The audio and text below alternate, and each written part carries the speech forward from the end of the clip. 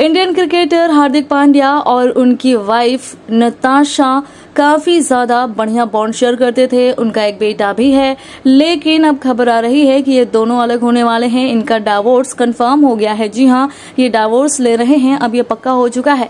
और तो और, ये भी तय हो गया है कि जब हार्दिक से नताशा अलग होंगी तो उनको उनकी प्रॉपर्टी में से कितना हिस्सा मिलने वाला है। जी हाँ खबरें आ रही हैं कि इनका डावोर्स एकदम पक्का है, यानी कि ये दोनों अलग हो रहे हैं, तलाक ले रहे हैं।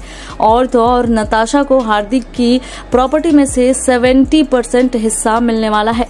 आपकी जानकारी के लिए बता दें कि इनके डावोर्स की खबरें पिछले कई दिनों से सामने आ रही हैं और ये तेज तब हुई जब नताशा ने इंस्टाग्राम से अपने सरनेम से पांड्या टाइटल को हटा लिया था, जिसके बाद से लोगों ने कयास लगाना शुरू कर दिया था। रिपोर्ट्स छपने लग गई थी कि हार्दिक और नताशा के बीच में सब कुछ ठीक नहीं चल रहा है और अब जब उन्होंने कुछ तस्वीरें जिनकी फैंस दीवाने थे, जी हाँ जिसमें हार्दिक और नताशा साथ में नज़र आते थे। उन तस्वीरों को भी नताशा ने अपने इंस्टाग्राम से डिलीट कर दिया है, जिसके बाद से लोगों को अब ये लगने लग गया है और पक्का लग रहा है कि इन दोनों का अब डावोर्स होने ही वाला है। इन दोनों के बीच अब सब कुछ ठीक नहीं है, पहले जैसा कुछ भी नहीं रह गया है।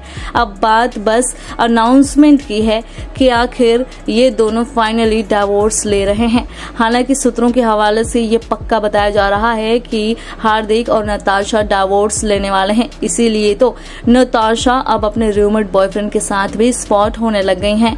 कुल मिलाकर के अब देखने वाली बात होगी कि आने वाले दो तीन दिनों में हार्दिक पांड्या और नताशा अपने डावोर्स की खबरों को कब तक ऑफिशियल करते हैं वेल आप बताइए। इस खबर पर आपकी क्या राय है? और आपको नताशा और हार्दिक के डावोर्स की खबरें सुनकर कितना बड़ा शौक लगा, ये भी बताइए।